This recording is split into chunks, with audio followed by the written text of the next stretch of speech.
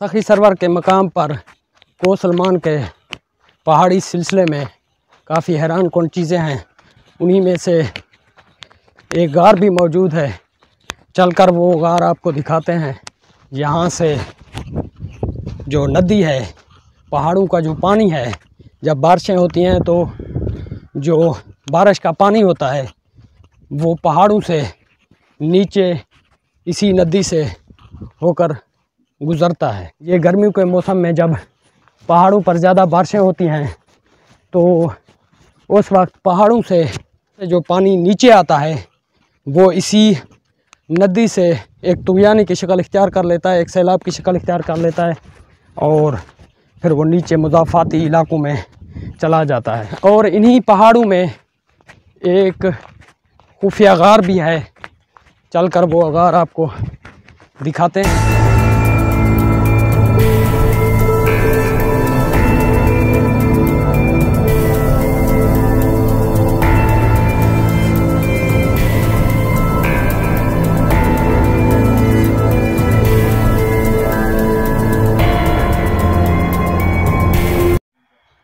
ये कोसलमान के पहाड़ों में एक गार है और यहाँ पे हज़रत अहमद सुल्तान इबादत किया करते थे और वो इबादत कर रहे थे तो ये पहाड़ हिलने लगा था और उन्होंने पहाड़ को रोकने के लिए अपना हाथ दिया था।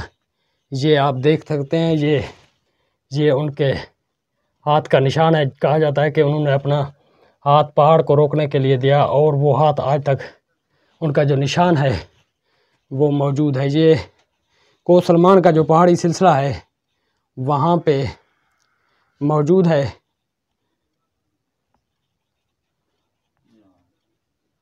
और इस पहाड़ी को पंजे वाली पहाड़ी भी कहा जाता है। कहा जाता है कि हज़रत अहमद सुल्तान ने पहाड़ को रोकने के लिए अपना पंजा दिया था।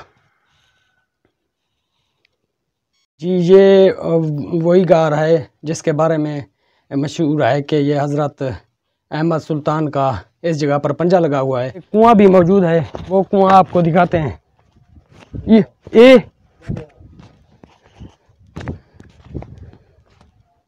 जी, ये देखें, ये है वो कुआँ।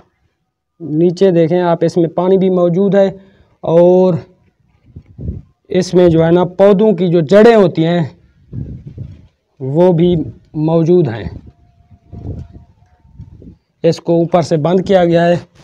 सिर्फ़ पानी भरने के लिए जो थोड़ी सी जगह है, वो खुली रखी गई है। ये अब गहरा कितना है, इसके बारे में कोई अंदाज़ा नहीं है। इसकी गहराई का किसी को इल्म नहीं है।